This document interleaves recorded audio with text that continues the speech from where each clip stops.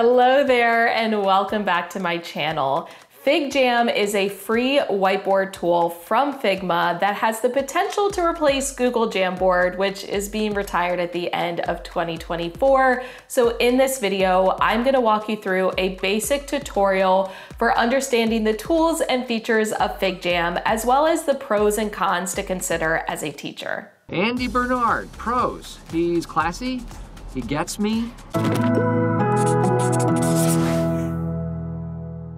Now this is gonna have a lot of information, so feel free to use the video chapters to navigate to the specific part that you need, either on the video or using the links in the description. In order to get to FigJam, you can head to the website figma.com slash figjam, which I will link for you in the description box, or just do a Google search of FigJam and it will come up. For the cost, FigJam is free for teachers and students, but it requires verification where you enter your role, your school, and answer a few other questions, but that will be linked for you in the description. Now you can also create a starter account for free, which includes up to three files, three pages, and one project with 30 days of revision history, or you can always upgrade to some of the other account options either on a monthly or yearly basis, and the prices for that will be on the screen. Now, in order to sign up, you can create your free account by clicking Try FigJam in the top right corner. Now, for mobile, there is an app available for both Apple and Android. The app is actually called Figma, which is the larger company, rather than FigJam but I will link both of those options down below. If you are using an iPad specifically, there is a FigJam app, but it is only going to work on an iPad, not on an iPhone. But these apps will allow you to view and edit FigJam files. If you want more information, I'm going to link a guide for the FigJam mobile version down below in the description. There also is a Google Chrome extension available in the Chrome Web Store. It is also called Figma rather than FigJam, but it will allow you to attach FigJam files to Google Calendar events, and that will be linked below as well. Next, let's do a quick website overview just so you can understand the terminology that FigJam is using. First, you have your teams. You can almost think about this as each class that you teach or each subject that you teach. Then you have your projects. This is going to be a group of files that are all related. So maybe they're all the same subject area or the same unit. And then finally, you have your files, which include your FigJams, as well as other design files that you create. Now, when it comes to creating a whiteboard, there are a few different ways that you can go about it. If you wanna create just a blank whiteboard, you can click FigJam board in the top right and then select the team. Or if you go directly to the team or to your drafts and then select FigJam board, it will automatically create one. You also have the option to start with a template. You can actually browse the templates right there on the home screen or once you have created a blank board, you can insert in a template using the AI generator on the left side or using the template button, which I will show you later on. And finally, if you want an even faster way to create a blank whiteboard, you can just type figjam.new right in your address bar and it will create a new file for you. Next, let's go through the tools and features available on a FigJam whiteboard. We are going to separate this by the different toolbars. So there is the board menu across the top and then the toolbar across the bottom. Let's start by going through the board menu at the top. The first button you see is the main menu button. If you click it, you will have your options for file, edit, view, etc. Next, you have your timer, music, and voting button. If you click, it will expand and from there there. You can adjust the volume, set the timer, play, pause it. You can choose music from some different options or create a vote if you have an upgraded account that is not available on the starter account, but it is available if you verify that you are a teacher. Next, you have the generate button that is going to give you those AI options followed by the template button, which will open up those templates that you can search and browse. Next, you have the add comment button. This is going to change your cursor to a black speech bubble. And if you click anywhere on the whiteboard, you can add a comment, but you can also use the window on the right side to navigate and filter comments. Next, you have the title of your FigJam. If you click on that title, you can edit it, but you can also click the arrow next to it and you will get a drop down of options, including the version history, duplicate, rename, favorite, and delete. Next, you have your multiplayer tools. You are going to see little icons for everyone who currently has access to the whiteboard. Then you have the share button. This is very similar to sharing Google Files. You can invite others by email and you can edit that access level. Now let's go through the toolbar at the bottom. First, you have the select tool. This is just your basic cursor. And as you hover over it, you will notice there are keyboard shortcuts as well. Then you have the hand tool. This is gonna be best for scrolling across the whiteboard without clicking on anything. Next is the marker tool. This allows you to choose between a marker, highlighter, washi tape, or eraser. You can choose the thickness and color, and obviously this can then be used to draw directly on the whiteboard. Then you have sticky notes. You can choose the color, click on the whiteboard to insert it. You can type text or even mention others with the at sign. You can format the font in the sticky note. You can add links or show or hide the author. And then you can use the square corners to resize the sticky note and those plus marks on each side to add additional stickies.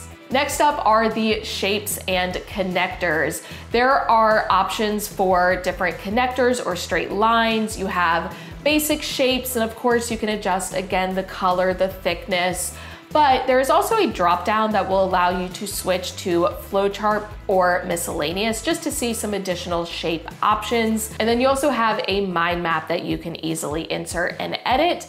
Once you insert any of these shapes or lines, you can then go in and customize it however you need. Next, you have the text button, which will insert in a text box followed by the section button. If you click and drag, you can create a section on the whiteboard.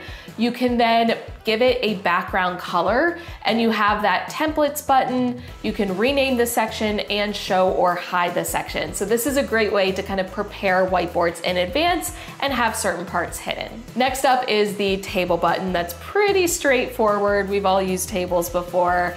And then you have the stamp button. There are emojis which will basically react and then disappear, but there also are stamps that are gonna stay on there almost like a sticker. And once you click, it's just gonna repeat so you can put the stamp in multiple places before switching to another option. And then finally, you have the widgets, stickers, templates, and more.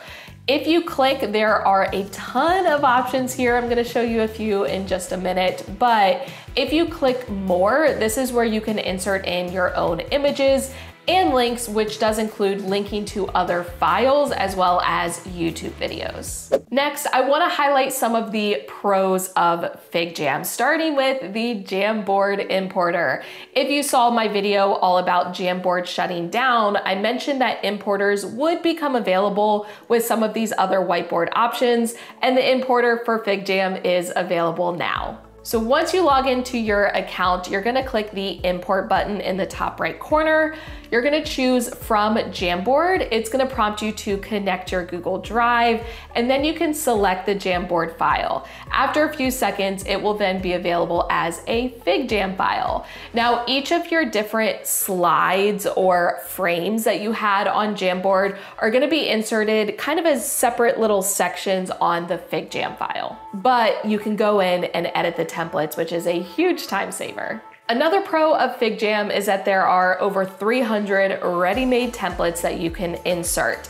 If you are looking for education specific templates, I recommend going to figma.com slash at education, but I will have the direct link to that down below. Some of the templates that I think are fantastic for teachers include magnetic letters, jigsaw activities, pros and cons, see, think, wonder, Frayer model diagrams, tree diagrams, and even four corners templates. Another pro of FigJam is that there are built-in AI capabilities that will generate templates for you, but you can also use the AI in order to sort and even summarize text such as the sticky notes. So that's a really great tool to have at the end of the lesson just to recap. Another pro is that you can invite collaborators on the whiteboard with no login required. So that means the other people joining the whiteboard do not need to have an account.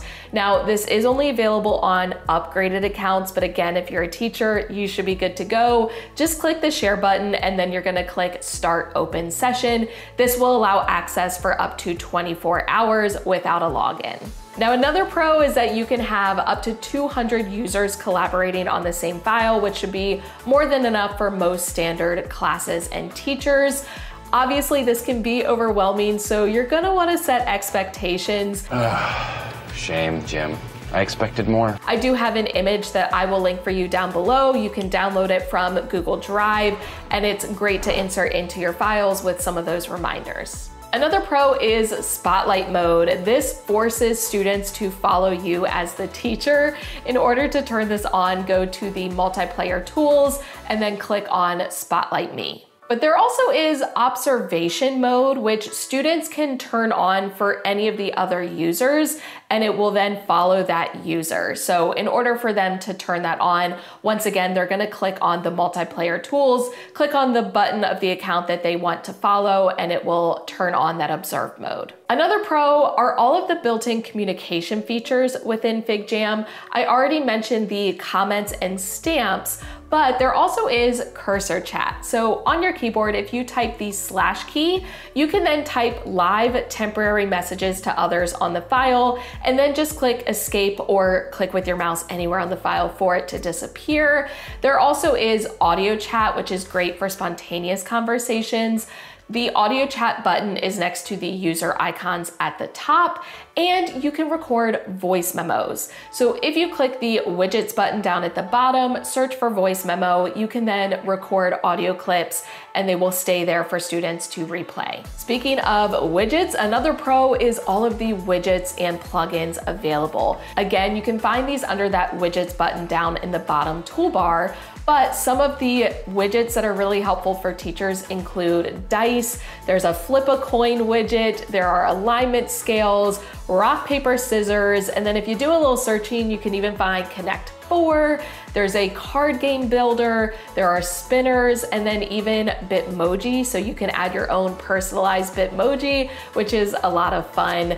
For plugins, some of my favorites include the stamp counter, as well as the PDF viewer and Flaticon, which is great for finding some of those basic images. Another pro is that you can create a force copy link just like you can do within Google Slides. So in order to create this force copy link, you're gonna click the share button, make sure these sharing settings are set to anyone with the link can view. You're gonna copy the link, you're going to delete the question mark and all of the text after it, and you're gonna replace it with slash duplicate. Once you hit enter, it will generate a copy for whoever has that link. And speaking of Google, FigJam does play fairly nicely with Google. First of all, you can integrate it within Google Meet, which might be really helpful for any virtual meetings. You can also attach FigJam files to Google Calendar events using that Google Chrome extension that I mentioned previously. You can also insert FigJam files into Google Docs and Google Sheets as smart chips, which might be really handy for lesson planning, but I think one of the biggest pros is FigJam actually has a free self-paced course that you can do and you can get a certificate of completion at the end and it will give you a lot of background information on how to use it. So that course will be linked for you down in the description box. But as with most things where there are pros, there are also cons. So let's go into some of the cons that I have found with FigJam. First of all, if you are wanting to use FigJam with students under the age of 13, you do have to have your school reach out to Figma and sign their terms for schools, so that's just a little bit of added friction. I will also say that you can tell Figma was designed with businesses in mind, and there's nothing wrong with that, but some of the templates available and even the widgets and plugins just aren't really going to apply to education. However, I do think they are really expanding the options they have available for teachers and students, so I am hopeful. And then finally, this is true with a lot of things, the AI is in beta mode, which means it's not the best, and sometimes By the time you finish writing a very detailed prompt to get what you want, you could have just made it yourself. but all of that aside, there are so many ways that you can use FigJam as a teacher. It's perfect for brainstorming, facilitating class discussions, generating like digital graphic organizers or diagramming different ideas. You can also use it to create timelines or help students collaborate during group work. You can generate student check-ins for morning meetings to tie in some socio-emotional health. And you can even use it as a teacher with other teachers in your building for various meetings and PDs or even your team planning. But that is it. That is FigJam in a nutshell, probably a big nutshell, but I wanted to make sure I covered all of the basics for getting started, went over the tools, and highlighted some of those pros and cons for you to consider as a teacher before you choose a tool to use in the classroom. If this was helpful for you, please give the video a thumbs up, hit the subscribe button and notification bell so you do not miss any future videos. All of those links I mentioned will be down in the description box. As always, thank you for watching. I love you so much. Don't forget to put your positive pants on and I will catch you in the next one.